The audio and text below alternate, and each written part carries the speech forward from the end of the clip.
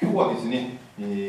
ー、武蔵野赤十字病院副院長であります泉先生に、えー、来ていただきました。えっと、これなので泉先生の経歴についてね、皆さんにお知らせさせてください。泉先生は1978年に東京医科歯科大学の学部を卒業されて、同大学の第二内科に入局されています。その後、1986年の4月から武蔵野赤十字病院の内科副部長として、えー、着任されまして2001年に消化科の部長。でその他、えっと、近畿大学だとか医科歯科大学だとかのあの客員教授っていうのもですねされてまして、えー、山梨大学あと香川大学ということでいろんな大学のですね学生さんにもですね講義をしているっていう先生なんですね。で学会もですね肝臓学会消化器病学会中医学会超音波学会とこうたくさんの学会の評議員だとか指導員というのをされてまして私たちの肝臓専門医の中では本当にこうトップリーダーでいつも私たちにこうこういうことをやるといいんじゃないの？みたいな話をしてくれている先生です。で私もですね泉先生とあの知り合ってからっていうかなあの北海道から東京に学会とか行くとですね泉先生を見かけては本当にあの私すごく大好きな先生の一人でして会うと必ずこう声かけたくなるんですね先生って。行くんですけどもそうするとね泉先生が「また先生面白い話してるね」ってね結構私もあのとんちんかんなことを発表したりとかもしてますのでねあの変わったことやってる先生だなって思いで人いつも見てくれてるんじゃないかなと思うんですけど、まあ、非常にこう温かく見守ってくれてる大先輩っていう感じですね。私も本当にあの泉先生の話があればこう聞きに行きたいということで、まあ、肝臓の先生を教えてる立場の先生なのでねなかなかこう患者さん向けっていうのは関東圏では結構やってるんですけど北海道まで来るというめったにないことで5日後患者さんに1回話してほしいなと思ってたのが今回叶ったので本当に嬉しく思ってます。で先週あ先々週かな？試して合点っていうのをね見た方いると思うんですけどその時に登場してた先生ですよ皆さん分かってますかあの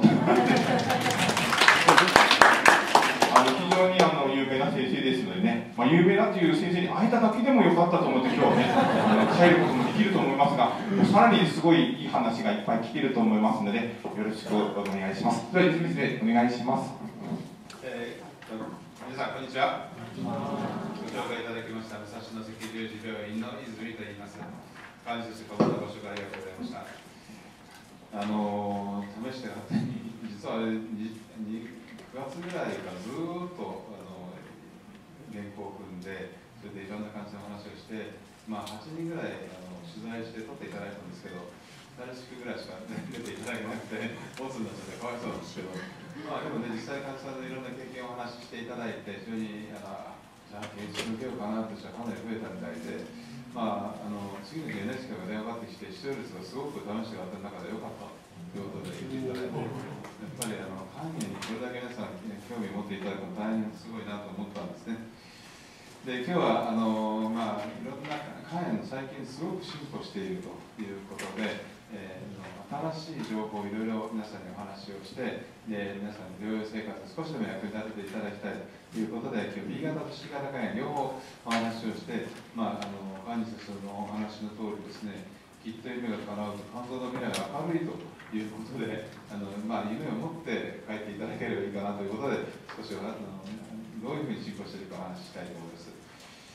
肝臓に B 型肝炎 C 型肝炎感染するウイルスなんですけど感染しても肉眼で肝臓を見るとつるっとして綺麗なんですね。で症状もないしこれがまさか進んでいくとは皆さん思わないんですけども大体25年から30年ウイルスがずっと肝臓にいると肝硬変になってしまうしそこからがんができてくるということですね。で一番大きな問題は日本では今でも肝臓がんの亡くなる患者さん3万人超えていると。いうことで、まあ、これが非常に大きな先進国の中ではとっても多い数字なんですね。だから日本は、まあ肝臓がんを減らさなきゃいけない。それで肝炎対策基本法という独特の法律を作って一生懸命国で取り組んでいるという現状にあるわけです。でまず B 型肝炎のからお話をします。であの B 型肝炎私も全部今あの腹腔鏡肝生検ということで初めて肝臓病を診断するときにはどのぐらい進んでるのか、まあ、医師も患者さんもきちんと確認をして検査をすると。検査して治療法を立てるということをやらせていただいています。そうすると検査をお受けになった患者の内訳を示しています。赤が B 型肝炎。1980年代はまだ C 型肝炎見つかってなかったので B 型肝炎多かったんですね。でもその後、まあ、C 型肝炎がすごく増えたんですけどでも B 型肝炎で肝臓感染が増える方は全然最近減ってないんですね。ですからまだまだ B 型肝炎は日本で大きな問題だという、まあ、最近ちょっとの B でも C でもない人が少し10%ぐらいいますけどやっぱり B 型肝炎 C 型肝炎が圧倒的に日本では大事な肝臓病だというわけですねでまああの1個だけ国の宣伝をしておきますあのまあ日本の国がうまくいったのはまあ、B 型肝炎の患者が非常に多いということで、1985年に5時間感染予防対策というのを国がやったんですね。B 型肝炎のお母さんが赤ちゃんが生まれた時に赤ちゃんに予防注射ワクチンを打って赤ちゃんに感染しないようにしましょう。ということで1985年に始まったんです。そしたら B 型肝炎の患者がどんどんどんどん減ってきて今この赤ちゃんから本当に B 型肝炎になる人0.05%なんですね。だからこの間の NHK 番組でも言ってましたが28歳より若い方に B 型がほとんどいないというところまで来たんです。よでもまあ残念ながら B 型がさっきでも1番目で減っていないとお話したのは全部29歳以上の方ですね。だからお母さんで B 型肝炎で5時間感染しちゃったという方がまだ29歳以上にいらっしゃるわけですね。だからその方がまだ B 型肝炎から肝臓がんになるということでまだまだ減ってないわけですけど実際に今若い方に B 型肝炎のキャリアは本当に少ないですね。だからまあ日本見事に日本の国の政策が当たったというのはこれは非常に端的によく示しているものになります。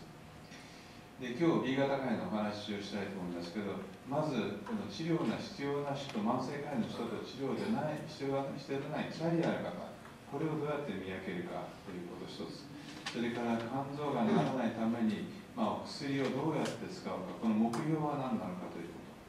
と。それから今年の5月から新しい飲み薬テノホビールというのができましたのでこれをどういうふうに使っていくかということをお話ししたいと思いますそして最後にこの肝臓がならないために B 型肝炎を完全に治す HBS 抗原というのは消すためにヘグイッタフラをどういうふうに使うかということを少しお話をしたいと思います最初にまず治療が必要な慢性肝炎と、まあ、B 型肝炎のウイルスが感染しているだけで治さなくてもいい人治療しなくていい人どうやって見分けるかというお話ですね。で B 型肝炎は最初母子感染で移ります。29歳以上の方が生まれた時にお母さんから感染しているわけですね。そうすると、つるっとしてきれいな肝臓で、肝臓悪くないんですね。でこの時期は治療がいらないんです。でところが、この慢性肝炎発病して、大体中学生ぐらいから30代ぐらいまで慢性肝炎発病します。でそうすると肝臓こうでボコボコになってきてこれはほっとくと肝硬変がんになるよということで治療が必要ということになるんですね。でも一旦このウイルスが HB の E 抗原というのが効いて E 抗体にセロコンバージョンというのを起こすんですがそうするとまた再びウイルスが減ってきて非活動性キャリアになります。そうすると肝臓がつるっとしてきれいな状態に落ち着くのでこの時期は治療はいらないんですでさらに進んで HBS 抗原まで消えるとこれはむしろやなくていわゆる治ったというぐらい近い状態になるというような経過ですね。だから B 型肝炎は、まあ、一旦悪くなるけどそれを乗り切ってウイルスが消すとこまで持ち込んでいけば B 型肝炎かかっててもそんなに、まあ、悪化しないよということになるわけです。最初の時期母子感染でお母さんから子供にウイルスが移った時ですね。そうすると肝臓の中に B 型肝ウイルスが、まあ、お母さんからもらってしまったウイルスが住み着いちゃうわけですね。ところがこのウイルスはたくさん肝臓にいるんですけど全然体に悪さをしないんです。で体に免疫をこう、まあ、ウイルスを見つける細胞を免疫がリンパ球が探してるんですけど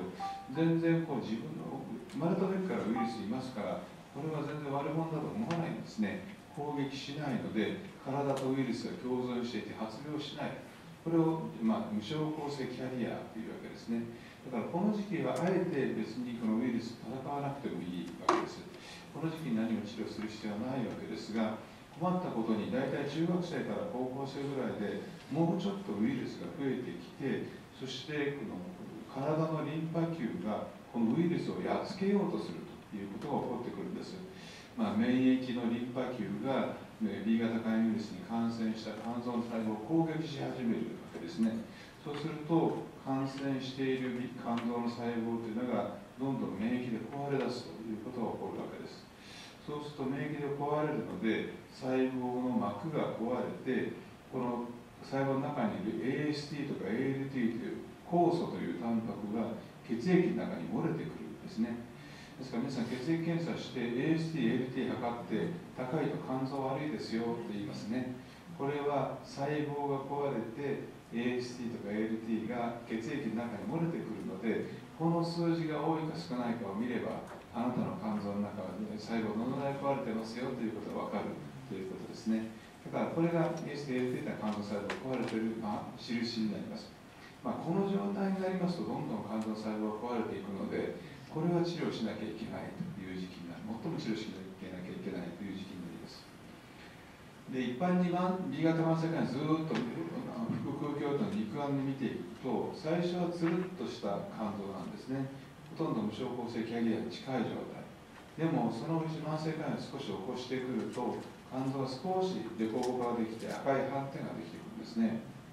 でもうちょっとこれが進んでくるとはっきり凸凹ができてきますね。まあ肝硬変に近いなという状態になります。そして最終的にこう肝硬変になっちゃうんですね、まあ、完全に凸凹になって肝臓が弱みたいになっちゃう。でも怖いことにこの間ほとんど症状がないんですねだからもう肝心の AFP が高くても症状がないだからぜひ検診を受けてくださいという話をするわけですね。まあ、あの症状がない私平気よっていう人周りにいたらぜひそう言わずに検診を受けた方がいいよって言ってあげてください。さて、でさっきのこのどんどん免疫で肝臓細胞が壊れる時期を過ぎると今度はだんだんウイルスが減ってくる時期になっちゃうんです。で E 抗原というのは消えてウイルスが減ってくるとそうすると今度は免疫で細胞を壊すということがだんだん体のもしなくなるんですね。こうなってしまうと肝炎が収まった状態だということなんで、まあ、かなり治療をしなくてもいいだろうという状態になるわけですね。そして一番いいのは完全にウイルスが排除されて B 型肝炎のウイルスが完全に肝炎の細胞いなくなる。いうことですね。こうなると治ったという状態にほぼ近いということになります。昔はこんなことは B 型肝炎ありえないよと言ってたんですけど最近はここまでウイルスをすっからかにすることも今可能になってきているというお話を今日したいと思います。まあ病気が治るというところまで B 型肝炎今持ち込めることが可能になってきたということですね。まあ、B 型肝炎の進み方最初の無症候性キャリアから慢性肝炎に進んでそして少し肝炎が落ち着いた時点になって最後治るというところまで今 B 型肝炎がう、まあ、治療できるようになってきています。でまあどういうものを目印にして治療していくか。で最初の段階は HBE 抗原というのを目印にしていただきたいんですね。若い時にお母さんから B 型肝炎ウイルスをもらうと HBE 抗原に陽性ウイルスは活発に増えてくる E 抗原陽性というわけです。第一段階はこの E 抗原を消せばかなりウイルスおとなしくなりますからまずは HBE 抗原を消しましょう。これが第1段階。そして第2段階は E 抗原消えてもウイルスの量の HBDNA これが高いとやっぱり慢性化に進んでしまうんですね。だから DNA の量を抑えましょう。これが第2段階。そして DNA がほとんどゼロに近くなるとウイルスがあまり暴れていない状態まで持ち込める。従来ここでおしまいだったんですがさらに最近もうちょっと贅沢になってきて HBS 抗原 B 型肝炎の感染そのものを消しましょうというところまで可能になってきた。これ第4段階ですね。そうすると治癒、まあ、B 型肝炎ウイルスも体から消えて治っちゃう。これも完全にできることになってきたわけですね。で特にこの非活動性キャリアここは問題なんですね。従来 E 抗原消えて E 抗体陽性になった。これで、まあ、B 型肝炎治ったよなんて言ってた時期もあったんですよ。でもそれが大きな間違いだと分かってきて少しウイルスが残ってきて DNA が増えてる状態の時にやはり慢性肝炎進んでがんになっちゃうという人がいるんでここで満足しちゃいけないよということが最近分かってきたことです。そこで本当に必要な治療が必要がない B 型肝炎の患者さんも時々います。非活動性のキャリアの方は1年ぐらいずっと経過を見て3回以上血液検査をしてこの3つの条件全部満たした場合には、まあ、治療しなくてもいいでしょう。HBE 抗原が陰性つまり活動性が弱いですよということ。2つ目は ALT が常に AL30 以下ですね。20代の人。ALT20 代の人は 3, 年3回でもずっと下がっていれば、まあ、治療しなくていいでしょう。そしてウイルスの量が4.0未満ですね。まあ、ですから3.2と3.7とそういう状態だと治療しなくてもいいですよというわけです。この3つ全部満足している場合には何もこの薬に拡散なるとか飲まなくても治療しなくていいですよという条件になりますで非活動性キャリアがさっきの LT をずっと3回測っても30以下だった人1000以下がある確率が0.7%炎症がある率も1.4%で肝がんができる確率はもう年に0.1%まあがんになる確率はほとんどないですよということが分かってきたわけですね。ですからウイルスの量これ 4, 4未満そして LT が30以下、まあ、20代ですね。これが非常に大事だというわけです。でただ HBS 抗原が自然に消えて治る確率も4%未満の頻度であるということでこの患者さんたちは治療しないで半年から1年ごとにきちっと血液検査をして ALT が上がらないかどうかウイルスが増えてこないかどうかを見ていくというだけでいいわけですね。まあでも中には時々ウイルスが増えてきちゃう人もいますのでその時点で治療しなきゃいけないということになります。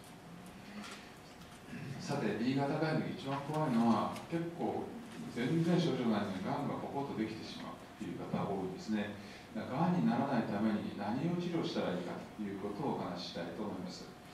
治療目標何を治療するべきか日本肝臓学会でガイドラインと出しまして B 型肝炎はどういうことを目標にしていくか。B 型肝炎治療する上での目標は肝臓の働きを悪くしない肝不全にしないこと。肝臓がんができないようにすること。そして患者先生が話したように患者さんに元気で長生きしてもらう。この3つを目標にしているわけですね。で治療がうまくいっている目安は HBS 抗原消えることとまで書いてあるんです。ですから完全に B 型肝炎、今治る方結構増えてきたので HBS 抗原消えて B 型肝炎治っちゃおう治してしまおうというところまで治療の目標にしているというわけです。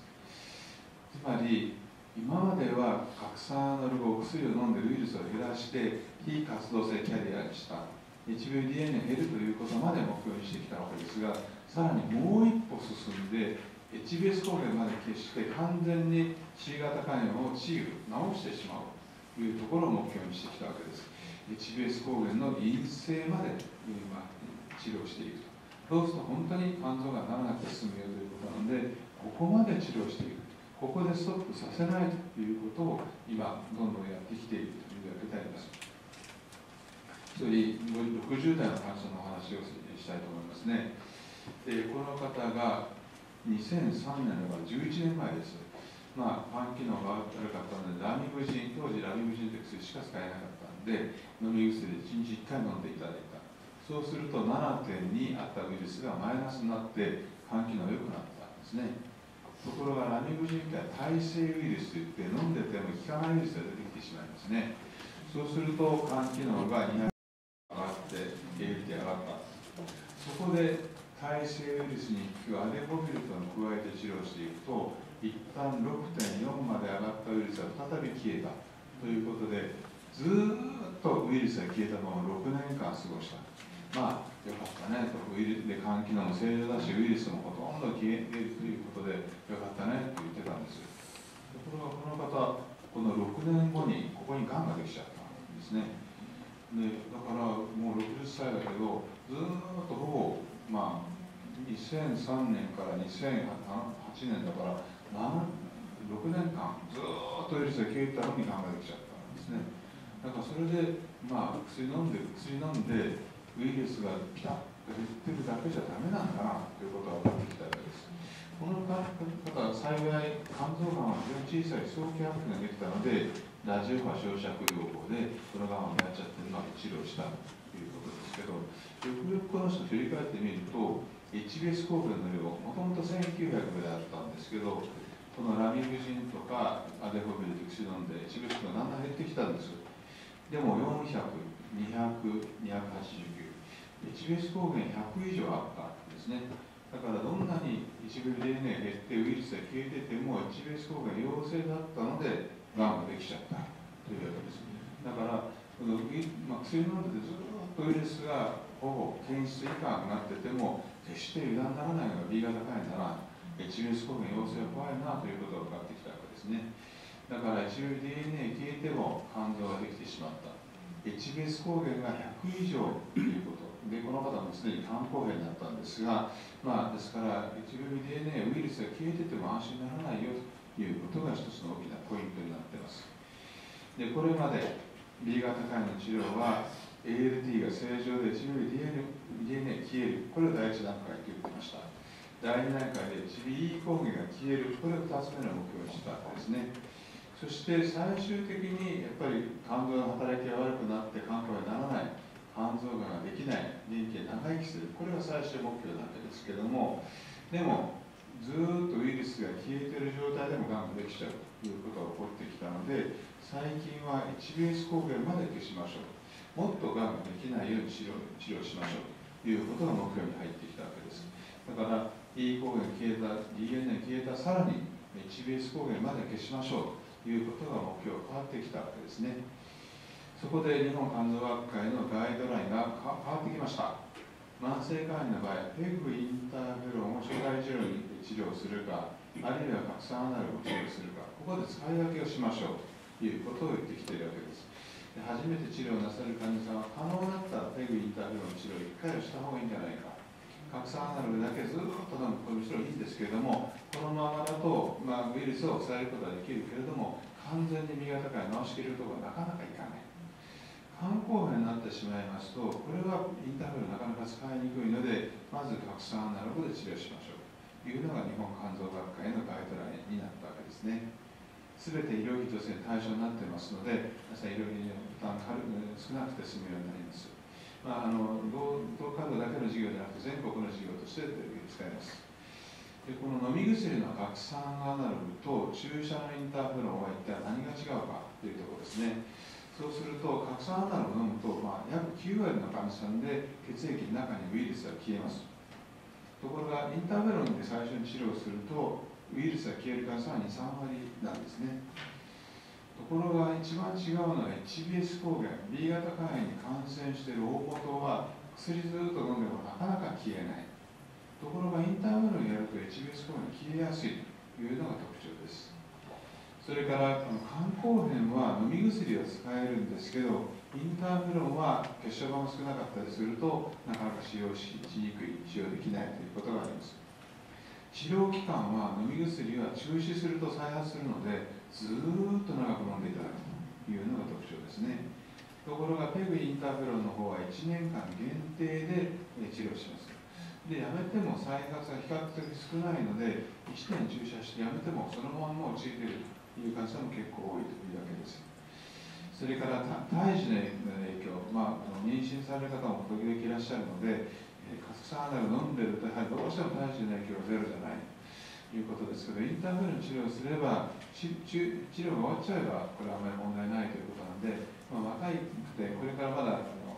子供さんが欲しいという方には、インターフェルでできるだけ治療するということを目標にしています。で今年の5月から手のこびるという新しい拡散アナログで1日1回の飲み薬ができましたのでこのことをお話ししたいと思いますラミブジンって最初に B 型肝炎を抑える薬は2000年にできたんですね。そしてでも耐性ウイルスができるので2004年にアレホビルという薬が追加で飲むことができるようになりました。2006年からエンテカビリバラクルードですね。これが保険とおりまして、まあ、多くの方はバラクルードで今治療していると思います。そして今年テノコビルというお薬飲み薬1日1回の飲み薬を保険取って今4種類の薬が健康保険で使える。いう状況になっています。でそれぞれ特徴がありまして耐性ウイルスができるリスクですね。5年間見ていくとラミブジンは5年間で70%が耐性ウイルスができるんですね。ですからラミブジンだけで治療していくという方今非常に少なくなっていると思いますね。でアデノビリを追加で治療していくと5年間で3割に減ったということで確かにラミュージンとアデコデビリはいいわけですけどさらにエンテカビルパラクルードになりますと5年間で耐性ができる方は1.2%ですね。ですから、まあ、最初からパラクルード飲んでる方はあんまり耐性できることはまずないと思います。そしてさらに今年できたテノコビルは7年間治療して耐性できる方はゼロですね。ですからテノモビルでうまく治療できると耐性ウイルスができるという心配はないと。いうのがテノモビルの非常に大きな特徴になります。もう一つはこの胎児への影響ですね。でアメリカ肝臓アメリカ FDA でアメリカ政府が出しているものなんですけどもそうするとラミュージンアデノビルエンテカビルここは分類 C といって危険を提供することができない。つまり安全と言っていないというわけですね。胎児に影響があるかもしれない。ところがテノホビルは危険性の証拠はない。つまり安全ですよと言っているわけです。ですから、まあ、お子さんをこれから産むとかですねそういう、まあ、男性も女性も含めてお子さんをみたいとお持ちになりたいという方はテノホビルの方がいいかなというふうに思うわけですね。そしてテノホビルはもう一つの特徴はエンテカビルバラクルードはチベス抗原ほとんど減らないんですね。ところがテノホビルの方はチベス抗原減ってくるんですですからどうも HBS 抗原を少し下げる力は手のホビルにありそうだなということなんで、まあ、バラクルトずっと飲んでるよりも手のホビルずっと飲む方が HBS 抗原が少し減ってくるかもしれないというふうに思っています。ただテノホビルの独特の副作用があります。で腎臓の機能が少し悪くなる方は3.5%それからリン系が下がるんですね。これが1.4%ぐらいあります。それからリンが減ると骨が少し弱くなるんですね。で1.4から1.8%の方は骨が弱くなるということなんで、まあ、中には非常に稀ですけど骨を骨折しちゃうという方までいらっしゃる。だから、まあ、あの B 型が若い方が多いので長く飲まなきゃいけないそうすると骨の心配が若干あるというのが手のビルの特徴なので定期的に腎臓の機能のクレアチニンというのとリンを測っていってそしてそれが下がるようだったらちょっと薬の量を調節したり、まあ、他の薬に変えたりするということになります。まあ、WG アデノビル進んできて、バラクルード、エンテカビルまで来ると、かなり耐性ウイルスが減ってきてます。で、テノホビルとどっちを使うかということで、まあ、使い分けをするわけですね。ただ、テノホビルのいいところは、耐性ウイルスは0%、それから妊娠中に使用する安全性が高い、HBS 抗原が減る、まあ、消費する症例がある。ここはいい点です。ただ、ちょっと心配なところは特有の副作用の腎臓が悪くなったり、リンテが下がったり、骨が減ったりするということで、まあ、これをちゃんと注意しなきゃいけないということになりますね。いい点と悪い点とがあるということになります。でもうすでに B 型肝炎の薬飲んでらっしゃる方結構たくさんいらっしゃると思います。でもこの指針が少し変わってきたんですね。でもちろん耐性ウイルスができたら、まあ、救済措置といって薬を変えたりしていって治療するわけですが、アデノビル、エンタカビル、テノホビル、まあ、このエンタカビルテノホビル、この2つが第一選択になって治療しているというわけですが、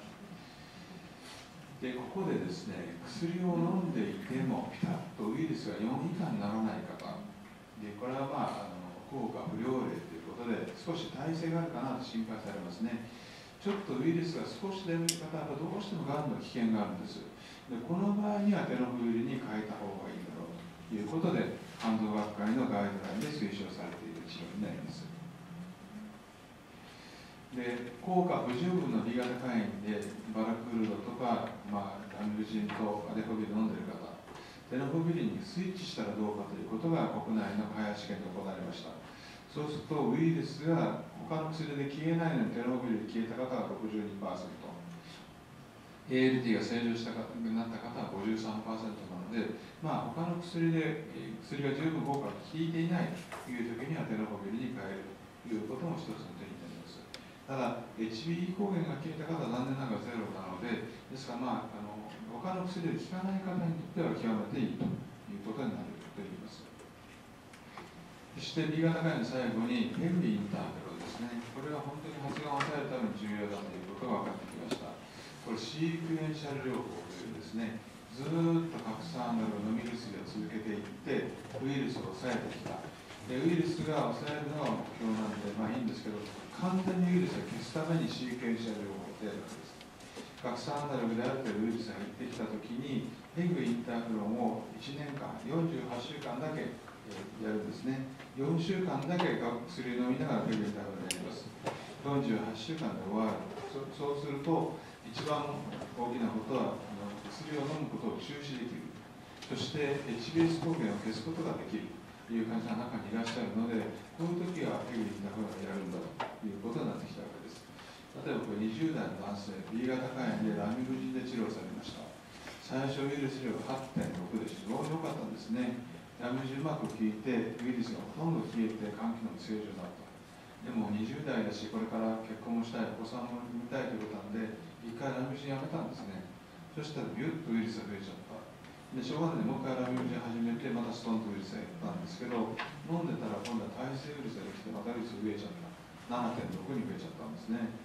そこでアデホビルを加えてラミブジンアデホビルを治療したらウイルスが減って環境がずっと正常だったんです。でまあ HBBDNA 生きたウイルスがずっと消えた状態4年間続いたんですけどでも薬やめやめられないから、まあ、ちょっと結婚ためられるわけですね。やっぱりウイルス消したいよということここでシークエンジセルをペグインターブル注射しましょうということをやったんです。そうすると最初7万とか2万があってチベス抗原が、まあ、薬飲むだけでだんだん下がって400、200下がってきた。ここでペグインターフェロンを注射したんですね。そしたらチベス抗原100だんだん減ってきて0.05以下になって消えちゃった HBS 抗原完全に B 型化に治っちゃったということですね。だからうまく HBS 抗原減ってきた時にペグインターフェロンを注射したらウイルスが完全に治っちゃうよという人が出てきたわけですね。だからまあここで飲み薬だけずっとあんた一生飲むんですよということで諦めないで完全にウイルスを消すとこまで持っていった方がいいだろう。そのコツはずっと長く飲んでいって1ベース抗原量を測るんですね。1万ぐらいあったウイルスだんだん減ってきて1000ですね。1000以下になった時にペグインターフェロンを追加して注射をすると1ベース抗原ストンと減る方は結構いるわけですねだからちょっと拡散を飲んでて、チベスコが減り始めたときに、まあ、ペックさんペグインターフェロンを相談して、うまく使ったら完全に B 型が消えて、B 型が治っちゃったという感じ方まで出てきたわけですね。まあ、まあ、うまくいってる方で、試合が2割ぐらいでこういうふうにチベスコを消すことができます。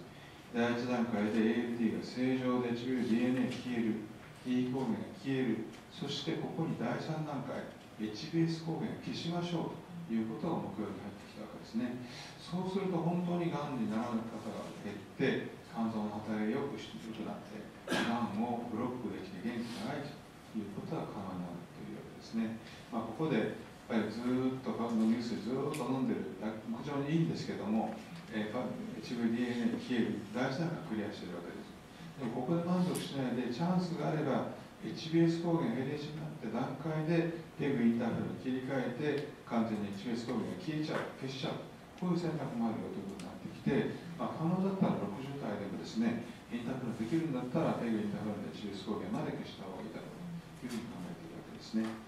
今日の B 型肝炎のお話のまとめです。まあ治療が必要ない方はこの1年以上3回検査して ALT30 以下。HBBDNA4 以下の方は経過観察だけでいいですよ。ただこれに該当しなければ治療が必要。つまり ALT が30を超える H ウイルスが4を超えるという方は治療必要です。ということになります。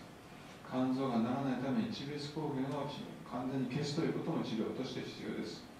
新しい飲み薬手の方がいただきました。体質ができない。妊娠中に安全ですよ。HBS 抗原減りますというメリットがありますただ、他の薬が効かないという場合でも有効です。ただ、骨と腎臓の副作用を注意しなきゃいけないということです。そして、インターメロンも拡散アナログウイルスが消えてるだけで満足しないで、うまくシークエンシャル療法、拡散アナログからインターメロンにもう一回やってみる。そうすると完全に HBS 抗原消えてうまくしておりますよということなんで、HBS 抗原が1000以下になった時はチャンスですね。一回おやりになってみた方がいいかなというふうに思います。さて次は C 型肝炎の話をいたしますね。で C 型肝炎の私のところでは初めて治療する前ちょっと難しくださいね。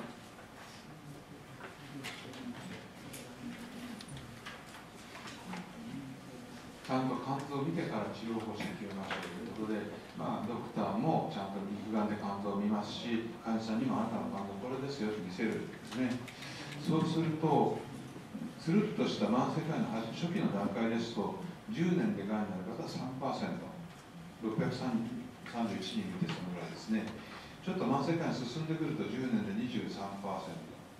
そして、まあ、肝硬変の一歩手前まで慢性肝炎が進むと42%ががんになって、肝硬変に一旦診断つくと10年で57%がんになりますということでやっぱり C 型肝炎非常にがんになるリスクが高いしかも進めば進むほどがんのリスクが高いなということですね。もう一つ私とように解析すると年齢を横軸に書いていますでそうすると性とか繊維化とか、まあ、BMI とかインターバルの反応性全部調整してみていくと65歳以上から急にがんが増えちゃうわけですね。だから C 型肝炎ではお年を召すと65歳以上になると急にがんが増えるということなので、まあ、なるべく65歳前に治療した方がいいでしょうというわけですね。治療法はどんどん進んできました。インターフェロン単独リバビリウ追加エグインターフェロンできた。そしてこの最初のテラフレビルというのが2011年に保険取りました。73%終わりました。プラス20%の効果があってで昨年の12月からシメフレビルとベグインターフェロンが使えるようになりました。9割が治ります。そして今年の9月からスナプルビアダクラタスビアと飲み薬ができてきてこれで85%治るということになりますまあ、どんどん治療は進歩してきているわけですが、インターメロンを使う治療をやるか、飲み薬治療をするか、ここなかなか議論の分かれるところ、これ、えー、遺伝子型 HB 型でウイルスが多い、まあ、日本に一番多い治りにくい感染ばかりの話ですね。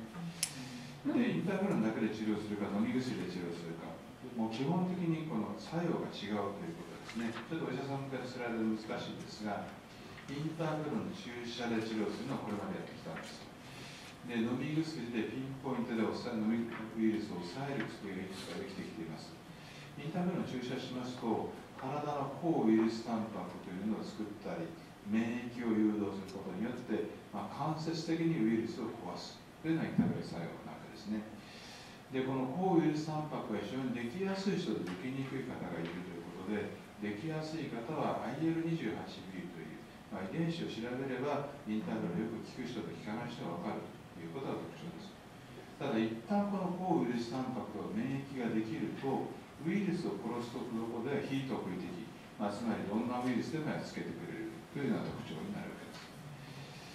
けです。でウイルス、C 型肝ウイルスは自分がウイルスが増えるときに必要な酵素というタンパクがあるんですね。プロテアーゼとかポリメラーゼとか NS5A こういったタンパクを使ったウイルスが増えていくわけですが、このウイルスの増えるタンパクを飲み薬で抑えちゃうという薬ができてきているわけです。プロテアーゼをブロックする薬、ポリメラーゼをブロックする薬、NS5A をブロックする薬、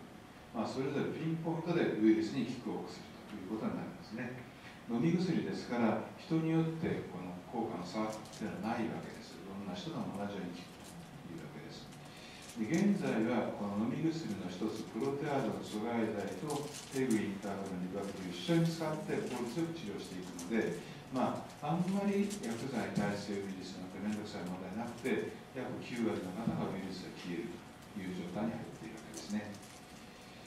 ただ今後インターネットなしの治療皆さんインターネット受けたくなくて飲み薬治療したいよという方が結構多いと思います。新たな問題が出てきたんですね。で飲み薬でウイルスを抑えちゃう薬としてプロテアーゼを抑える薬ポリメラーゼを抑える薬 NSO を抑える薬ですね。薬剤耐性変異といってウイルス側に薬が効かない変異があると薬が効かないよということが新たに今までインターネット後押しがあったので薬剤耐性変異があったら乗り越えられたのであんま問題にならなかったんですが今度はインターネット後押しがないので薬が効かないウイルスはこの薬効かないですねですから治療前にちゃんと薬が効かないウイルスかどうかちゃんと調べて薬を選ばなきゃいけないということになって今まで全然考えなくていい問題は飲み薬では考えなきゃいけないというのは全く医学がガラッと変わったことになります。まあ、うまくいけば飲み薬でウイルスが消えるという時代に入ったわけですね。でこういう間違えていけないのは今までのインターベルと注射薬と飲み薬を一緒に治療する。9割治ります。インターバル注射なしの飲み薬だけの治療も、まあ、今年にあの予定も9月に発売になりました。85%の治るどっちやりたいですか？ねインターバルなしのもいいですよね。副作用つらいだし飲み薬だけの治療で皆さん治ったらいいですと思いますよね罰なんです。でこれ大きな問題が分かってきたのは薬が効かない耐性ウイルスをもともと持っている人がいるというのが分かってきたので全部の人に飲み薬だけで治療しちゃうと全然薬が効かない耐性ウイルスだらけになってしまうという問題があってきちっとどっち治療するのか私痛みが嫌だから飲み薬だけに治療しちゃうっていう時にいかなくなっちゃうんですね。ちゃんとウイルスを調べてあなたはやっぱりインターフロンがいいですよっていうことも分かってきたわけですね。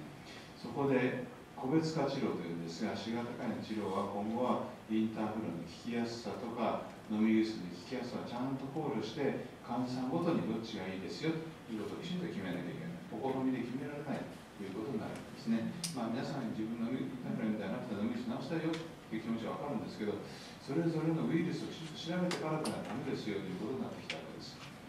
まずインターフロンを効きやすいかどうか患者さんの体質をちゃんと調べますそれからこの一種類阻害薬の飲み薬ですね。ウイルスの性質薬剤耐性ウイルスがいるかどうかこれが非常に重要になってきてここをきちんと調べないと飲み薬は間違って選んでしまうと後々大変な厄介な問題になってしまうということが分かってきました。まずインターフロンは効きやすい患者さん体質を調べて効きやすい患者さんはどうするかということになります。で去年の12月からシメプレビルで新しい飲み薬を1つ飲んでそしてペグインターフロンとリバリン治療します。そうすると今までインターフロン治療を受けてないことのない患者さんは大体9割治ります。まあ実際治療も9割治ってますし前の治療で一旦ウイルスが消えたことがある人もっと聞くですね9割から97%ほとんどの方が治っちゃいます。前のペグインターフロンに言われた時に全くウイルスが消えなかった患者さんの治癒率は39から51%ですねだからこの方たちがどうするかということを相談しなきゃいけないということになります。だからシメプレビルはほぼ9割で治るんだけども、レグイタールに病院だけウイルスが全然消えない方はどうするかはちょっと考えなきゃいけないということになります。でも5割近くは治るということですね。で去年の12月にシメプレビルが保険になりました。私のところで123人の患者さんが今、レグインターフロンリボビルとシメプレビ治療を受けていただいています。まあ、1年しないと結果が出ないので、最後の結果は今日お話しできないんですが、まあ、現在、これまで123人治療を受けになった患者さんは、20歳から78歳、最高78歳になっていますね。ですから、インターフロンが70歳以上のことはできません。とんでもないです。ちゃんとできます。半年間ですし、今までのペグイターフロンのリバブリン治療できる方、皆さんできますので、まあ、78歳でも、ちゃんとこの方、おそらく78歳、2人受けてますけど、治ってますね。だから、このお年めしてが治らないと全然ないです。70歳以上の方23%、65歳以上19%なんで、まあ半分近くの方がご高齢の65歳以上の方ですね。だから締めくれる非常に副作用少なくて楽なので、まあ、しかも半年なので、ヘルミンターフのリバブリにつらかったという人でも、ちゃんと締めくれるで最後までできています。そして F の3、繊維化が少し進んで、肝硬変、肝臓が近い方も34%ですね。だから肝臓がんのリスクの高い人はシメプレベルペグイタフルに治療を受けているということになります。ウイルスは消える率を見ていきました。治療を始めて4週間で血液からウイルスが消える方が84.7%すごいですね。ペグイタフルに言われると2割です。ですから一気にシメプレベルで効果が高くなる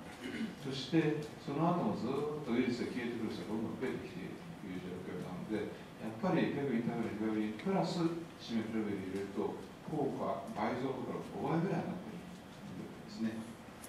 で副作用として心配なものはうつ症状発疹とか高中級が減る貧血が出る血症が出る網膜症が出る関節瘤が全部ペグインターフルのリバブリに関係したものばっかりですね。ですからペグインターフルのリバブリができるんだったらこのシメビルができるということです。中心に立った患者さんもうつ症状全身形態が貧血網膜症リマジこれだけですね。ですから、まあ、ペグインターフルのリバブリがちゃんとできる方は全部シメペルビル治療できるということです。で一つだけシメペルビル違ったところは少しだけ横断が出るんですね。ビリルビンが上がるということですがグレード2の軽い横断が出る人24%これはビルビン2.5までですから、まあ、自然に下がります。グレード3というのはビルビン5までの軽い横断です。これも5.7% 5を超える少しはっきりはっきり分かるぐらい横断したらたった一人ですね。123人でたった一人だけです。ですからまあ非常に副作用軽いなということが分かります。で今度じゃあ飲み薬だけの治療の話をしますね。ぜひ皆さん飲み薬だけで治療を受けになりたいという方がたくさんいらっしゃると思います。で C 型肝炎の飲み薬がどんどんどんどん新しいのができてきますね。でどうしてこんなに新しい薬できるようになったかと言いますと C 型肝炎ウイルスが細胞の中で培養できるようになったんですね。これはあの日本人が研究者が作った、まあ、細胞を増やす系が非常に有効度になっています C 型肝炎ウイルスは肝臓の細胞の中で増えるわけですね。増殖をするというわけですがここに3つのタンパクが必要だということが分かりました。1つは NS3 のプロテアーゼという酵素。NS5 ビンポリメラーゼという酵素。そして NS5 へのタンパクの医療体験を作るタンパクですね。この3つのタンパクをうまく使って C 型肝ウイルスが増えていくということが分かってきてそして増えたウイルスが再び血液の中に出ていくということが分かってきました。そこでこの細胞培養できるようになったのでじゃあこのタンパクをブロックする薬を作ればウイルスが殺せるんじゃないかということでどんどん新しい薬ができてきているというわけです。で今年の9月からお手に取ったのはこの NS3 のプロテアーゼ阻害剤と NS5A のポリメ NS5A 阻害剤ですね。この2つを使ってウイルスの増殖をストップさせるそうすると、まあ、ウイルスが完全に消えて肝臓が出ていかなくなるわけですね。これで C 型肝炎が治っちゃうということが、まあ、期待されて作られたお薬であります。確かに非常にいい薬ですただ問題が分かってきてうちの NS5A の薬が効かない耐性変異というのが分かってきたんですね。治療前にウイルスを調べて L31Y93 というところに耐性変異があるとこっちの薬効かないよということになります。そうすると2つの飲み薬治療していくわけですね。片一方が効かないと1個だけで治療するようなもんですね。そうすると飲み薬1個で治療するとウイルスがやっぱ耐性変異を起こすんですね。これは B 型肝炎ラミブジンと全く同じことが起きるわけです。で1個で治療すると耐性が起きちゃう。2つちゃんと効く効かず選んで治療しないと、まあ、失敗してしまうということになるわけです。そして効かない薬でいかない耐性ウイルスこれが非常に大きな問題だということが分かってきたわけですね。で今年の9月から出たお薬でこちらにウイルスが31番93は耐性があって効かないよという患者さんに2つで治療してしまうということをやってしまうと、まあ、効きにくいということが分かってきたわけですね。実際ちゃんとデータも出てます。日本で222人の患者さんが治療を受けになった第3組織ですね。全体で2つの薬で治った患者さんが85%すごいなと思いますが治らない方の特徴分かりました？治療前に31番に耐性ウイルスがある人全体で4%が耐性ウイルスあったんですけどこの方たちに治った率は33%つまり3人に1人しか治りませんそれから9倍93という耐性ウイルスこの体制を持っている方は14%ですね。で、この方たちが治った率は45%、つまり55%治らなかったということですね。治らないと新たな体制ができちゃうので、今後は治らないと大きな問題になっちゃうんですね。今まで言ったから治らなかったら次もう一回って言えたんですよ。ところが今度は失敗しちゃうと、さらに強い体制が出ちゃうので、一回失敗しちゃうと大変なんですね。だから今後はあんまり失敗しないようにちゃんと薬をちゃんと選ばなきゃいけない。で実際だけど治療前に調べてると、まあ、治験段階18%今私ども調べていくと、まあ20、20%, 20ぐらい5人に1人はどっちかの薬で効かないよというウイルスが出てますのでですから、まあ、な何も考えず薬飲んで失敗したらまた次じゃあ今度やったらですね今度はきちっと治る薬を選ばないと次に差し支えるというわけです。でどうしてこういうことが起こるかを説明したいと思います。C 型肝炎ウイルスはちょっとずつ違うウイルスが混じり合って体の中に存在しているんですねでこの中に一部赤で示したのはこれは飲み薬が効かない耐性ウイルスですね。耐性ウイルスがいるんだけども強引に飲み薬だけ治療しますね。そうすると青とか黄色の薬が効くウイルスがだんだん減っていきます。でも耐性ウイルスは薬が効かないで残っちゃいますね。でさらにこのまま治療を続けていくと耐性ウイルスだけでは残って青だ青とか黄色がどんどん減っていきますね。耐性ウイルスが残ってしまってしかも薬治療を続けていたら耐性ウイルスがどんどん増えちゃうんですね。これかつてラミブジンという、まあ、新潟県最初の薬でよく経験した通りですね。でラミブジン最初は効くんですでも治療を続けていくと YMDD 変異といって耐性ウイルスが出ちゃいます。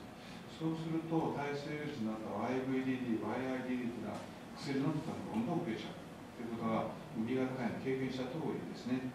だから耐性ウイルスができちゃう、まあ、失敗してしまうと効かないウイルスが残っちゃうのでこの赤になっちゃって強力になったウイルスがずっと残ってしまうと今度は次の飲み薬効かないよということが起こってしまうというわけですね。ですから今回だ今回以降はですねちゃんと調べて治るかウイ薬を選ばないと失敗してしまったらこういう赤のウイルスいっぱい来るとなんか非常に大変だと。次の薬が効かなくなっちゃうリスクがあるというわけですね。つまり治療前に3193こっちの薬が効かないよというウイルスに対して今回の経口薬で強引治療しちゃうとこっちも効かないウイルスになっちゃうんですよ。治療失敗しちゃうとプロテアーゼの効かない168番という原因が出て NS-3193 代謝して治療失敗しちゃうと多剤耐性ウイルスこれもこれも効かないというウイルスになっちゃうんですね。で今飲み薬3つしかないんですよ。3種類しかない。これしか残んないんですね。これもこれも効かないウイルスなのに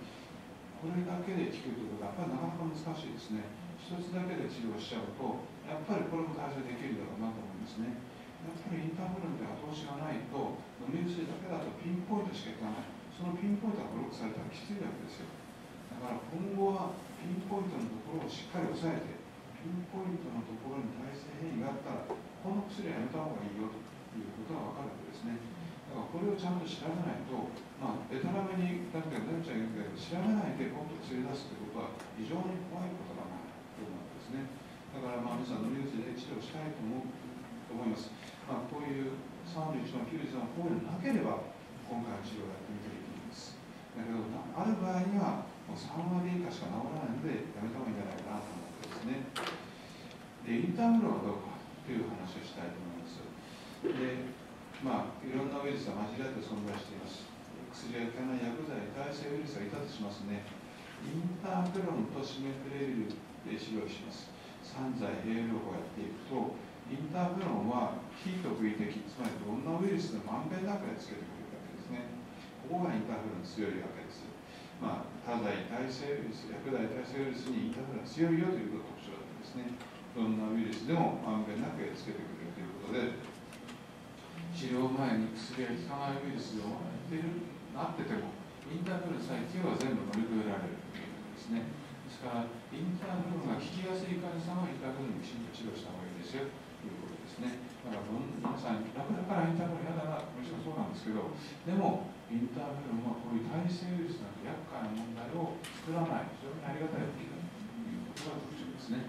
だからまああのよく耐性ウイルスきちんと調べられないなというところはやっぱりインターフェルで治療した方が安全だということは言えるわけですね。で治療方針はなかなか難しいです。これから治療方針まずインターフェロンの効きやすさを調べます。まあ IR28 見て遺伝子調べられればいいんですけど前の治療1回受けたことある人は治療中にウイルスが一旦消えたかどうかこれをぜひチェックしてみてください一旦消えてる人はインターフェロン効きやすいですそうすると基本的にはインターフェロン治療した方がいいと思います全然一度も熱も消えなかったので効きにくい人これは、まあ、次の治療を調べるわけですね。そうすると、まずインターンの効きやすさを調べて、次に調べることは薬剤耐性ウイルスです。かどうかですね。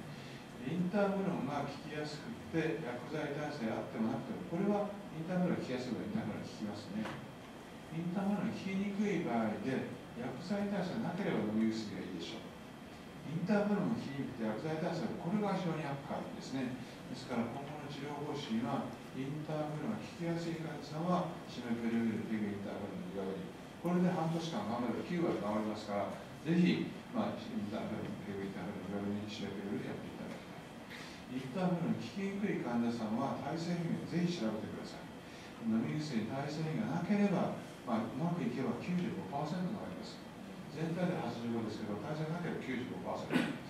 耐性があった場合はですねインターフルの効きにくい飲み薬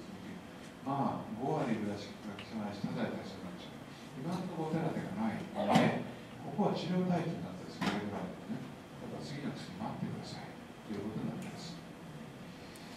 でつまり、こちらに体制変異があって、31は93番、エンスゴレ体制が効かないよと、今回9月から出た薬は効かない、どうしましょう。やってしまうと、こっちともちょっと効かなくなっちゃう。次の治療に差し支えるということですね。だから、これ以上困っちゃうので、これは現在、えー、神奈川ガイドラインでこちらに効かないウイルスとか治療待機次の薬を待ってくださいというふうに書いていますというのは次の薬どんどん出てくるんですね今年の9月に出たのはスナプレビルだけだったんですね。これで85%になります。そして来年のおそらく夏頃になると思うんですがレディパスビルとソースビルこれの防剤が出てきます。これで日本で行う試験ほぼ100%近い患者が治るというわけです。問題はですねまあこれで失敗しても次から行くんじゃないかという考えの先生もいるんです。ところが私はあんまりそれは完璧じゃなくてこのナクラタスビルとレディパスビルは同じブルーで示してますね。同じ系統の薬なわけです。そうすると93番31番はこれも同じなんです。そこが効かないかとかこれも効かないんですね。これで失敗してさらに強い体制になったものはこれで乗り越えられるかないくらそうすれば非常にいい薬なんですけどこの組み合わせで乗り越えられないんじゃないか。ですから今回失敗しても次があるよ。というわけにいかないんじゃないかな。というのが僕の心配。でこの薄いブルーはもう一つ特徴は全部の薬にこの薄いブルーが入っています。もうちょっと先にアッピーという会社はオンビタスビルという今開発権やってるんですけどこれも薄いビルーですね。NS5 疎外剤そうすると93番は全く同じなんですね。だから同じ系統の薬が全部入っているのであこれ要注意だと。ここに強い体制ができちゃったら今後の治療がなくなるんじゃないかなという気が若干します。さらにもうちょっと治癒率を上げるために、まあ、今の経口医剤にポリメラーゼ阻害剤を加えて治療治験が行われていますしさらに別の会社から新しい治療治験が行われています。でもどれを見ても全部薄いブルー入ってますね。だからこの薄いブルーの NS5 阻害剤これはキードラッグでこれに耐性入っちゃうとあちょっとこれは困るな。飲み薬だけで治せないウイルスになっちゃうかな。ということを心配している。一方、インターメロン含む治療はシメプレビル、そして今年の分はバニプレビル使われています。それぞれ90、80から9から92%と、バニプレビル84%があるということですけど、この後、ペグインターメロン、リバベンとの一緒に使える薬は、日本では今開発権やってませんので、この2つでおしまいというわけですね。だから、まあ、たくさんいろいろあるというけど、この5つのぐらいの種類からどれを選ぶかということを、ちゃんと季節に選ばなきゃいけない。やるんだったら一発できちっと直しきるというのが必要だなと思っています。で皆さん、気になりたいだろう次のレディパスビル、ソースビルという薬、ギリアードの薬ですね、海外で素晴らしいデータを出ています。で初めて治療を受けになる1型の患者さん、レディパスビル、ソースビルで治った患者さん100%、リバリリューク99%、もう一つ治療期間は97から100%治ってます。再治療、2回目の治療を受けの中で肝硬数2割入ってますが、87、100、100、100という数字になってますね。治りやすい患者さん、IO3 という試験が行われました。初めて治療を受けの中で肝硬変ない人、8週間と12週間で比較を行われたんですが、8週間で98%、あるいは95%、12週間98%というデータが出て、まあ、10月にアメリカで使えるようになりました。11月使えるようになりました。で、えー、アゴーニですね。で、まあ、市場は1125ドル、まあ、で3クラスの945万ドル、つまり1200万円という値段です。で、これでもアメリカで最も売れてるんですね。だからまあ1200万円出しても、まあ、直したい人もいらっしゃるということですね。まあ、日本でもちろんこれ個人輸入で今買えます。だから1200万円あの出したい方はどうぞお出しになってということになると思うんですね。で、これの薬もですね、日本で使えたらいいなということで、日本で使い始め行われました。で、1型で初めて治療を受けになる方166人、1, 1型で、えー、今まで治らなかった方175人治療を受けになりました。12週間だけこの薬、合剤にしたレリパスビアソースビルにリバブリを入れるか入れないかで治験が行われました。結果はすごいんです。初めて治療を受けになる方は100%治っています。83日、83人。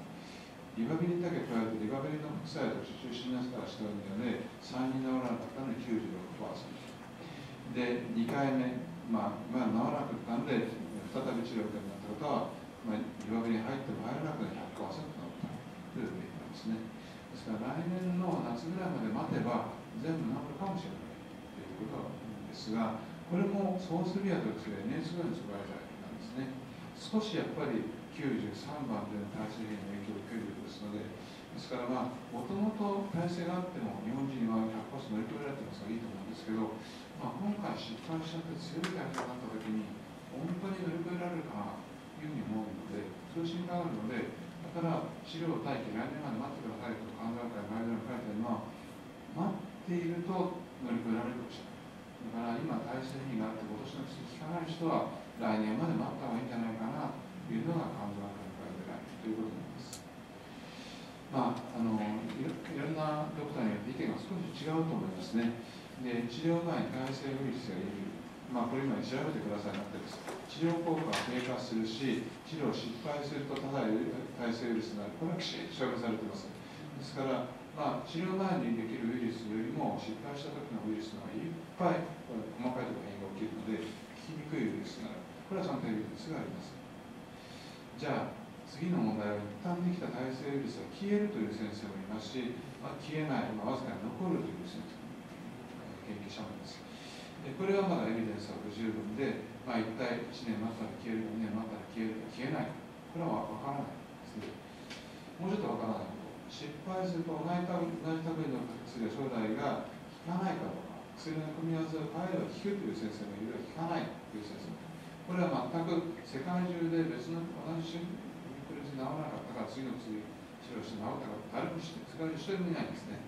ですから、まあ、これはエビデンスがないのでこれは結果がない私は心配性なので今回失敗して強いウイルスになっちゃったら次の薬効かないんじゃないかなという可能性があるので、まあ、そういう、まあ、挑むということはですね急ぐした別ですよ。本当に今になる人としては別ですけど、まあ、ちょっと来年まで待てる方は来年まで待つという手もあるかなと。まあ、現時点でどちらが正しいかは分からないということで、今一番選ばなきゃいけないのはインターフロンを含む治療ですね。シメペレビル、あのプレビルとペグになるのが9割となります。あるいはインターフロンなしの治療ですね。まあ、今85%、来年100%でやらし、まあ、あの実際となるかどうかそこまで分かりませんけれども、どっちを選ぶのか。インターフェロンが言い合わせが使える患者はインターフェロン含む治療がいいでしょうし、インターフェロンでもどうしてもできない患者さん、あるいは効果がなかった人、これは飲み薬やるしかないですね。ですから、まあ、薬剤耐性変異を調べて、どっちを選ぶかということを決めなきゃいけないと思います。それから、肝臓の硬くなった繊維化が治るかどうか、これまでインターフェロンがたくさん日本でやってきました。これは繊維化が治るというエビデンスはちゃんとありますが、しかし、飲み薬で繊維が硬くなった肝臓が治るかどうかは全く今のところエビデンスはないですね。ですから、まあ、飲み薬で本当に肝臓が柔らかくなるか、これは全く分かりません。一番大きな問題は、がんがブロックできるかどうか。そして、インターフェロンはこれまで長い経験で、がんがブロックできるというちゃんとあるところが、飲み薬でがんが防げるかどうか。これは全くデータがないんですね。新潟肝炎でさっきあのずっとバラフードを飲んでた。だけど、がんができちゃったという紹介しましたね。新潟肝炎でウイルスがピタッと抑えられてるのにがんができちゃったという方がいらっしゃるので、やっぱりインターフェロンがある方ががんが減るんじゃないかなというのが多くの肝臓の専門医の意見ですね。で、ウイルスが消えたのにがんができやすい人はどういう特徴があるかということを全国赤十字病院の協力で調べてみました。674人の SVR というのはウイルスが消えて死がなが治った人ですね。経過を見ていくと5年の間結構がんになってます。これまでがなりやすい方は55歳以上の方、男性が多いです。アルブミンが4を切っている方ががんが多い。アルファベトプロテイン、塩マーク AFP が10を切ったらがんが多いんですけど、5を超えるとがんが多いですね。AFP は5を超えたらがんが多い。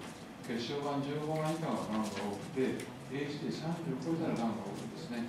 ですから、まあ、これからウイルスが消えるのが多くなると思います。ウイルスに使うにしろ、シンプルにでみたいなのがしろ。でも、ウイルスが消えてもですね、がんの率が結構ゼロにならないんですね。特に55歳以上、男性、アルコールに低い人、血小板低い人、そしてアルファプロテインを超えてる人は、がんのリスクがあるということなので、定期的に超音波 CT をちゃんと受けていただきたいなというふうに思います。まあ、あの今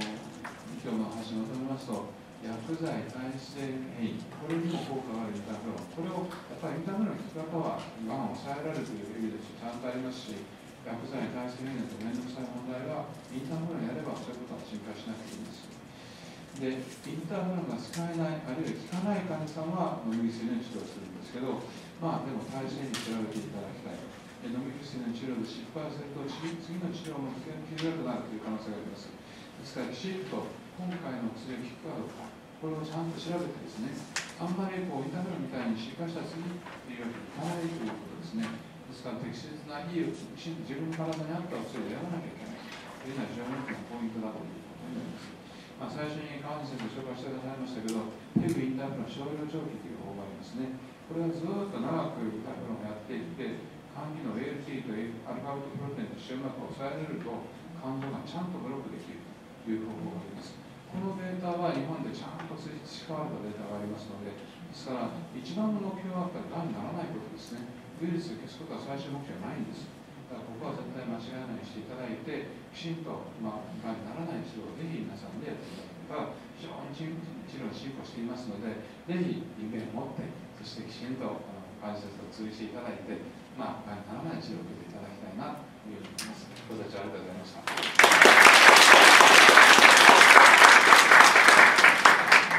泉先生、ありがとうございます。本当にあの私、研究会って言って、あのインターフェロンの勉強会するときに、泉先生にこう教わりながら、自分でこう治療法を組み立てるんで、今日も話聞いてすごくあの納得できるところがたくさんあるんですけども、あの北海道の場合には、待機例の方でもそのインターフェロンの助成制度が使えるっていうのがあって、まあ、そういった意味では、少量のインターフェロンでも使えたらやりましょうというのが、できる地域になってるので、そういったところもですね、あの恵まれてる地区だなっていうふうに思います。ちょっとあの時間もだいぶなくなってきてるんですけど、先生に2、3ちょっとお聞きしたいんですけども、あの先ほど2剤でやっぱり耐性ウイルスないと思って使い始めてもやっぱり効かなかったりする人もいるし、耐性ウイルスがある人っていうのもあのいて、次の薬でもちょっとこう効きづらくなる可能性があるっていうのが分かってるっていうふうな話では来てるんですけど、あの時にあのインターフェロンを先にこうちょっと単独でも使っといてから2剤使うとかその自費でもいいから2剤使いながらインターフェロンをかませるとかってやると多分耐性ウイルスをあの抑えながら効かせるっていう可能性を上げれるんじゃないかなとちょっと思うんですけどその辺ってなんか先生たち検討しているとかっていうのはあるんでしょうか？いやあの非常に大事なポイントで実施ぜひやりたいんですけどなかなかあの、まあ、健康保険と今あの健康保険ない治療を一緒にやるのは非常に難しいので北海道の場合は女性があるのでできると思うんですけど東京はなかなか厳しくてできないんですね。だから本当は僕はその耐性ウイルスっていうのはインターネットさえあれば耐性ウイルスを消してくれるので、そこはぜひあの望みがあってやりたいところなんですけど、ちょっと今のところ東京では法的な規制でできないんですね。だからちょっと今のところ僕らそのデータを持ち合わせてないんです。はい、ありがとうございます。あとはあのウイルスが消えた後やっぱりがんになりやすい方っていうのがいていることが分かっているということなんですけどもあそこのところでその発がん抑制でインターフェロンの少量長期っていうデータが日本の場合はあるということでなってるんですけどあそこをこう保険適用でなんとかこうできるメドとかっていうのは今後できそうな感じなんでしょうか？ウイルス消えた後ですか？消えちゃうとなかなか結局インターフェロンの最初の保険適用があの抗ウイルス量抗ウイルス量ウイルスの減らす量なんですね。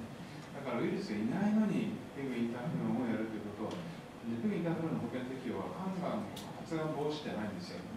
だからしょうがないんでこれ保険適用はならないのでですからそこは使えない。あの新しく保険適用に入れてもらうみたいな。すごくそういうのはこうなんかエビデンスが相当必要なんですね。ウイルスが消えた後もペグインターフェロンやった人のがんが少なかったというデータを出さないとなかなか厚労省に生かしないですね。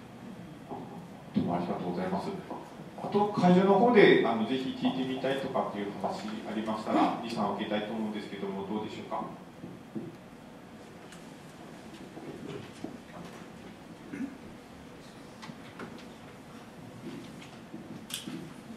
お話、とても分かりやすくてありがとうございました。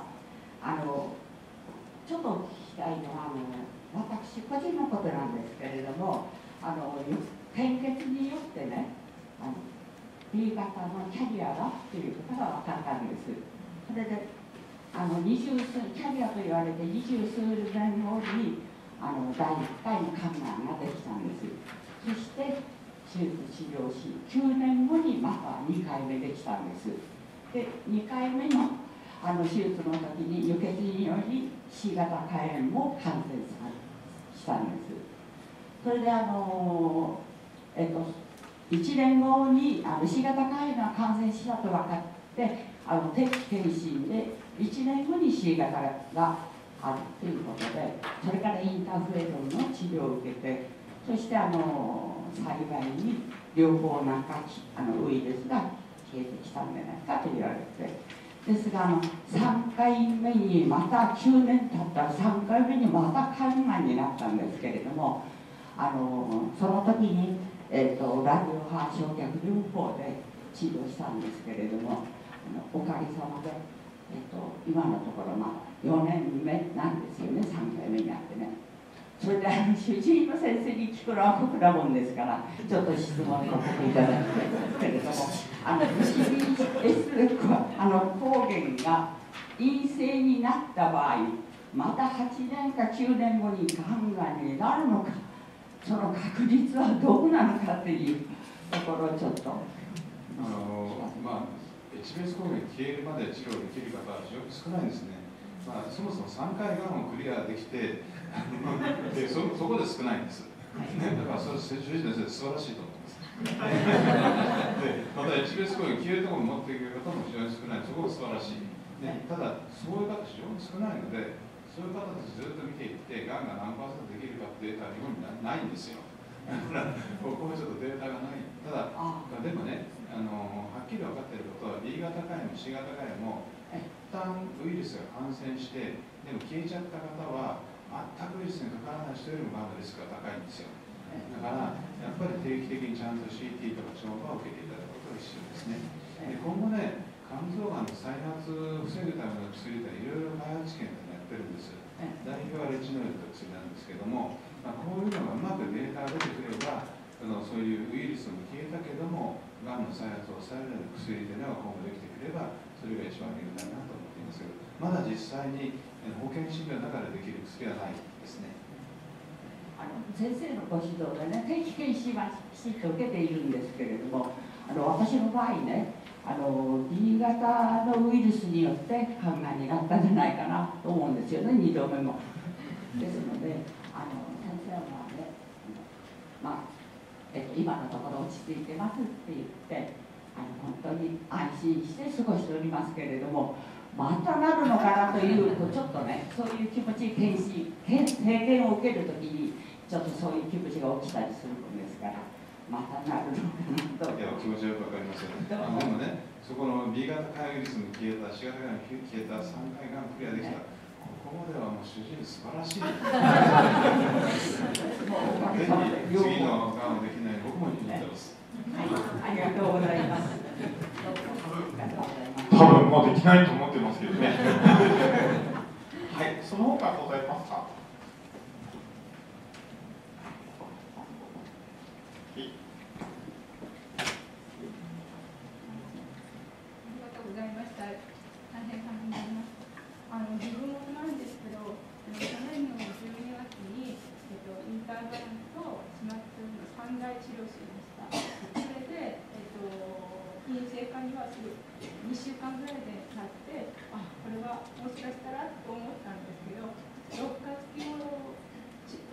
で治療終わって、その時はまだ陰性だったんでその3月期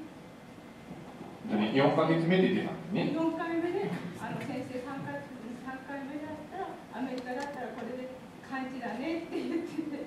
4回目のあの献血解決でウイルスが出てしまって、今回5.4までなってしまったんですね。それであの今、耐性菌の検査をしていただいておるんです今後、どのような治療が私には向いてるか。いや惜しかったですね、もうちょっとになると思うんですけど、あのでもね、はい、そういう方ラッキーなんですよ。あのそれでシメプロリってプロテアーゼ阻害剤という薬なんですね。はい、そうするとプロテアーゼ阻害剤で治らなかった時にはプロテアーゼ耐性ができちゃうんですよ。だからおそらく同じ種類のプロテアーゼ阻害剤はおそらく効かないだろうと思うんですね。だから今飲み薬使える薬っていうのはプロテアーゼ阻害剤が入っているので、今の飲み薬はおそらく効かないと思うんですよ。ところが来年出る薬は NS5A 阻害剤とポリメラーゼ阻害剤といってプロターゼが入ってないんですね。だから来年夏までなんとかがんにならないようにしていけば来年夏以降の薬は十分に効く可能性がある。そしてそのアメリカとかヨーロッパでこのシメプレビルで治らなかった人来年ののエリパスビルとソホスビルで95%治ってるデータがあるんですよ。だから今回シメプレビルで治らなくても来年の薬はしっかり効くと思いますのでそこまでは貸させないことですね。あの今11月の中頃に先生がなんかインターフェロンとの3剤でまあ新しいやつが出てきますよっておっしゃったんですけどそれはあだからそこはちょっと体制変化調べてあのプロテアスガイダー168番って言うんですけどそこがなければそれは効くかもしれませんだけど、まあ、あの168番あるんだったら来年の薬のマスというのも一つの手だと思いますねありがとうございます。えっと、今の質問してくれた方は、あの10分の1のインターネットで控えていってる方なんで、そういった意味ではかなり聞きやすいのかな。聞きやすいですね、それからじゃあ、インターフロン、非常に聞きやすい場合にはインターフロンであの治療していく、対象に乗り越える可能性があります。はい、その他ございますか？はい。HBS 抗体ができた人が中にはがんになる人がおりますが、それの防止方法ってありますか？残念ながらないんですよね。で、HBS 抗体できた人っていうのは、まあ、一回リアガンに感染したことがある人ということですね。で、最近話題になってるのは、その、リウマチの薬と抗がん剤で再活性化といって、再び B 型肝炎が増えてくることがありますね。免疫を抑えるとウイルスが増えちゃう。でこれは、まあ、B 型肝炎1回感染したことある人は、ごくわずかに肝臓の中にウイルスがいるという方が多いですね。だから HBS 抗原消えて HBS 抗体陽性でも HBBDNA が少し陽性だったら HBDNA を抑えるための治療、まあ、拡散バルブのウイルス飲む方がいいかもしれない。だから HBS 抗体陽性でも HBDNA 一回調べてみるというのが一つの手だと思いますね。で、まあ、今のところその B 型肝炎の感染が治ってしまった人に対して、まあ、がんを防ぐといういい薬が今のところないんですけど、まあ、今後ですね、肝臓がんの再発を抑えたり、いろんな薬を開発試験やってますので、まあ、今後はできてくるかもしれません。一旦、一回ちょっと HBDNA 調べていただきたいなと思います。で、あの、HBS 抗原消えても HBDNA 残ってある方、これ陽性の方もいらっしゃいます。えっと、私たちの経験でも肝がん検診で S 抗体できていてもやっぱり肝がんできている方います。ただ頻度としては出せる数ではないんですけどもやっぱりウイルスにかかっていると定期的なチェックっていうのが必要なんだなというふうに感じています。そしたらですねちょっと時間も来ましたので今日はあのこれで医療講演の方終わらせていただきます。本当に泉先生どうもありがとうございました。